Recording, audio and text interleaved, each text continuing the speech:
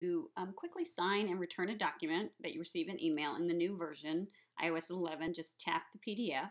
You receive an email, and then in the upper right hand corner, tap on that. That's going to give you access to all of the drawing and markup tools so you can do other markup as well. To add a signature, tap the plus sign. And uh, there's other things that you can do too, but we'll go ahead and do signature. And then if you don't have a signature, add or remove it. But if you already have one, once you add one, then you'll just have it there.